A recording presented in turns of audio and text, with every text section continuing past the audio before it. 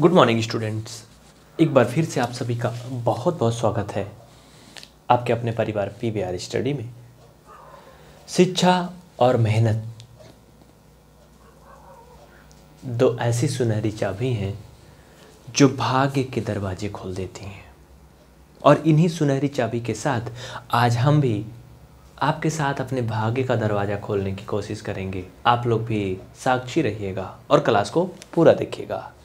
देखिए इंग्लिश में लिखा देखकर मत परेशान होना और हिंदी में लिखा देखकर हैरान मत होना। हम दोनों लैंग्वेज में बताएँगे। दोनों क्वेश्चन जो हिंदी में लिखा है उसे इंग्लिश भी बताएँगे और जो इंग्लिश में लिखा है उसे हिंदी भी बताएँगे। एक क्वेश्चन इंग्लिश में होगा, एक हिंदी में होगा, जिससे आप दोनों लोगों का विश्वास बराबर बना रहे। चलिए, सबसे पहला क्वेश्चन क्या कहता है? What is the sum of any two odd number और एनी टू इवन नंबर देखो आड मतलब एक बात इधर पहले समझ लो, भागना मत, और आपसे एक विनम्र निवेदन है, कम से कम इस क्लास को दस मिनट ज़रूर देखना, अगर मैथ सीखना है तो। गारंटी हमारी होगी, सिखाएँगे हम, लेकिन देखोगे तब। देखिए ऑड का मतलब होता विषम ठीक ना? ऑड नंबर मतलब होता विषम संख्या, और इवन नंबर मतलब होता है सम संख्या, ठीक है? इवन नंबर यहाँ नीचे कर लो, और ये ऑड नंबर याद रखना, हिंदी, इंग्लिश दोनों जानोगे, तभी कल्याण है। एक लैंग्वेज में काम नहीं बनने वाला। हिंदी तो छोड़ ही नहीं सकते हो, हमारी मातृभाषा है। इंग्लिश अगर हमें दुनिया में रहना है तो इंटरनेशनल लैंग्वेज है, हमें इंग्लिश आनी चाहिए। तो दोनों आना चाहिए आपको। तो कहने का ये मतलब है वाट मतलब क्या इज़ मतलब है? दसम मतलब योगफल, जोड़। एनी मतलब कोई भी टू मतलब दो ऑड नंबर मतलब सम संख्या कहने का ये मतलब है, इस क्वेश्चन का हिंदी में ये मतलब होगा कि किन्हीं दो विषम संख्याओं का योगफल क्या होता है? अब सबसे बड़ी एक मुसीबत है कि ये विषम संख्या क्या है, कौन सी बला है? तो देखो विषम संख्या वो होती है, याद कर लो। मैंने पिछली क्लास में बताया भी है वैसे। जिन संख्याओं के last digit one three five seven nine ये होते हैं, वो विषम संख्याएँ कहलाती हैं। कितने होते हैं? विषम संख्याओं के लिए जिनके last digit one three five seven nine ये होते हैं, वो विषम संख्याएँ कहलाती हैं। रट लो इन्हीं, पाँच डिजिट को बस। और सम संख्या की बात बोलें तो zero, two, four, six, eight. पाँच ये और पाँच वो, दोनों बराबर हैं। इन्हीं डिजिट को मिला करके संसार की सारी संख्याएँ बनती हैं। तो याद रखना, जिन संख्याओं के last digit one three five seven nine हो, वो विषम होती हैं, यानी ऑड होती हैं, और जिनके zero two four six eight हो, वो सम होती हैं, यानी कि इवन होती हैं। चलिए, कहानी आगे देखते हैं। कह रहा कि किन्हीं दो विषम संख्याओं का योग क्या होगा? चलो, मैं दो ले लेता हूँ, मान लो तीन और चार ले लिया। तो तीन और सॉरी तीन और एक। तो चार हुआ ना। मैंने दो विषम संख्या लिया फोर आया ना। फोर आ सम संख्या। इवन नंबर, है ना? कोई और दूसरी ले लो, चलो। सात और पाँच ले लो। ट्वेल्व आया ना? ट्वेल्व का लास्ट डिजिट देखो। जी, इसी में से है, सब में से ना? यानी सम हुआ ना? कोई भी दो ले लो, चलो, एक और नौ ले लो। वन और नाइन एट करो, टेन आया। टेन का लास्ट डिजिट इसमें से है, यानी ये भी सम संख्या है। यहाँ से ये सिद्ध होता है कि यदि हम किन्हीं दो ऑड नंबर यानी कि विषम संख्या को जोड़ते हैं तो उनका योगफल हमेशा एक सम संख्या होती है। क्या होता है? सम संख्या होता है। ठीक ना? क्या होगा? सम संख्या होगी। एग्ज़ाम्पल के रूप में इसको लिख लो और आंसर क्या लिखोगे? What is the sum of any two odd number example के रूप में आप यहाँ लिखोगे इवन नंबर क्या लिखोगे? इवन नंबर मतलब कि दो विषम संख्याओं का योगफल एक सम संख्या होती है। अगला मुसीबत देख लेते हैं। कह रहा कि what the sum of any two even number किन्हीं दो सम संख्याओं का योगफल क्या होगा? तो साथियों, इसका भी वही आंसर होगा। कैसे? चलो देखते हैं।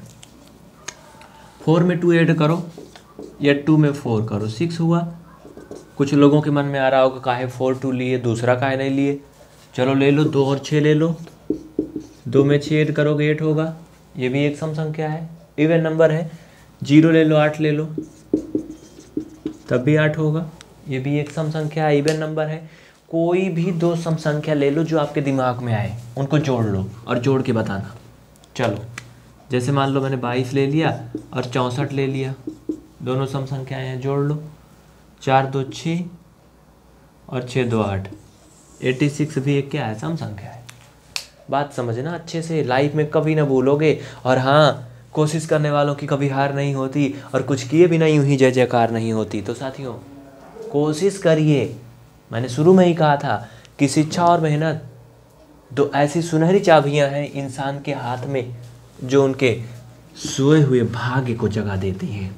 और एक बात ये भी जान लो, जब इंसान पैदा होता है ना तो कोरा कागज़ की तरह होता है। उसकी भाग्य और किस्मत उसके द्वारा किए गए कामों से लिखी जाती हैं।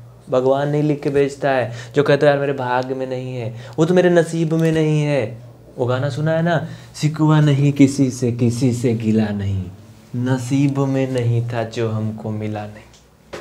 ये बिल्कुल गलत है। बिल्कुल गलत है ये। सही तो ये है,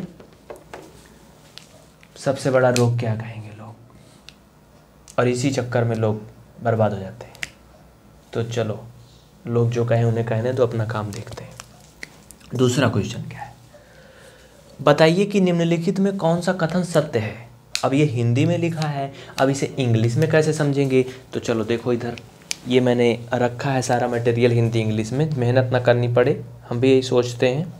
इसका मतलब क्या पता है?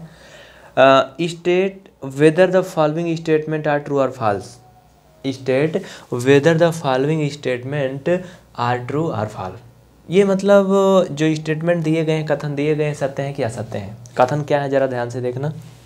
तीन विषम संख्याओं का योग सम होता है। तीन विषम संख्याओं का योगफल सम होता है। इंग्लिश में बोलेंगे the sum of three odd number is even the sum of three odd number is even बोलो इवन ऑड अभी दो दो का तो हिसाब आपने ऊपर देख लिया, लेकिन ये नई मुसीबत लेके आ रहा है कि तीन तीन का क्या होगा? होगा ही नहीं। ये तो सीधा सीधा कह रहा है।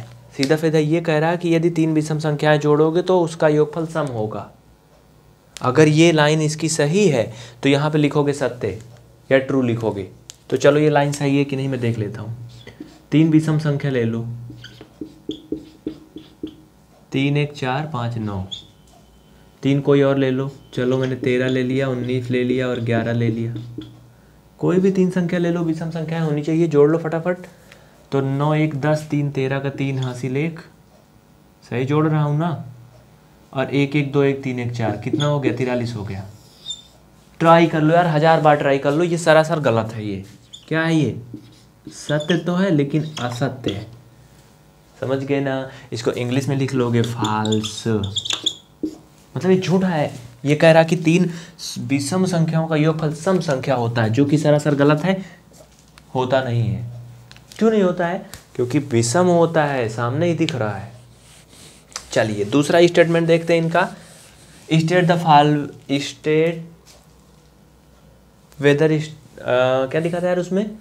स्टेट वेदर स्टेटमेंट और ट्रू और फॉल्स ऐसा है ना, इंग्लिश में? चलिए, दो विषम संख्याओं और एक सम संख्या का योगफल सदैव सम संख्या होता है। इसका कहने का ये मतलब है दूसरी लाइन का कि किन्हीं दो ऑड नंबर ले लो और एक इवन नंबर ले लो। और जब अगर तीनों को जोड़ोगे ना आप खुदा ना खास्ता तो क्या आएगा? वो हमेशा एक सम संख्या होगी। चलिए हम ये भी देख लेते हैं, इनका भी कथन क्या है। इधर ध्यान से देखना, बहुत ही ध्यान से देखना। और अगर मैथ सीखना है ना यार तो क्लास छोड़ के मत जाना, मैं बार बार बता रहा हूँ। छोड़ के न जाना तुम आधे हज़ार करके, और हम भी नहीं जाने वाले वादे करके। और पूरी क्लास समझाने के बाद ही जाएँगे। चलो आगे देखते हैं। क्या होगा इसमें? दो विषम संख्या और एक सम संख्या। ले लो फटाफट। दो विषम संख्या। चलो आप बताओ या मैं कुछ भी ले लेता हूँ। दो विषम संख्या मैंने ले लिया इन दोनों को। एक सम संख्या मैंने ले लिया। चलो मैंने ज़ीरो ले लिया। सात तीन जोड़ो दस हुआ। हम्म, यार लग तो रहा सही हो गया। दो भी सम एक सम। चलो एक और ट्राई करते हैं क्या भरोसा इस ज़िंदगी का? साथ देती नहीं है किसी का है ना? तो इसका भी क्या भरोसा है? ये एक तो सही हो गया क्या सब पे सही होगा? तो सब पे देख लेते हैं। दो सम संख्या लेने हैं। हम भी विषम संख्या एक पहले ले लेंगे क्योंकि हो सकता है कुछ घाल मेल कर रहा हो। ये आठ चार आठ चार बारह पाँच सत्रह। तो बाजी पलट रही यार। लेकिन मैंने गलत लिखा है। वो कैसे? कह रहा था, दो सम संख्या लो, एक सम संख्या लो। मैंने उल्टा कर दिया। दो सम संख्या लेना भाई, गड़बड़ है। चलो, एक सम संख्या मैंने ले लिया, सेवन। तो सात, पाँच, बारह, आठ, बीस। लग रहा है सही लिखा है। एक और ट्राई कर लेते हैं, क्या जाता है। इसको पंद्रह बना लो। hmm, इसको भी बनाना है विषम। चलो इसको सत्रह बना लो और इसको अठारह बना लो। अब ट्राई करते हैं क्या होता है। तीन ट्राई करेंगे बस। आठ सात पंद्रह पाँच बीस। हँसी लाया कितना? दो। और एक एक दो एक तीन दो पाँच। कितना हो गया? यार पचास हो रहा है मतलब ये सही लिखा है। अब आगे निकलने वाला इसको लिख दो सत्य यानी कि ये क्या है? ये लाइन ट्रू है। क्या है? ट्रू है। ये सही है। देखोगे ना मैथ के पीछे पागल हो जाओगे। अगर हर एक क्लास को पूरा देख लिया तो। पार्ट नंबर नौ आपसे मिस हो रहा है, क्योंकि नाइन नंबर पार्ट हम यूट्यूब पर कभी पब्लिश नहीं करने वाले हैं। ये टेन नंबर पार्ट आप देख रहे हो। उसके लिए आपको पी वी आर स्टडी का ऐप इंस्टॉल करना होगा। और उसमें आपको वो पार्ट मिल जाएगा। इसका बाफ है वो नाइन नंबर पार्ट क्योंकि उसमें ना, हमने पढ़ाया नहीं, बल्कि घोल के पिला दिया आपको। हजम हो जाएगा, देख लोगे तो देखना ज़रूर। ठीक ना? कह रहा कि तीन विषम संख्याओं का गुणनफल विषम होता है।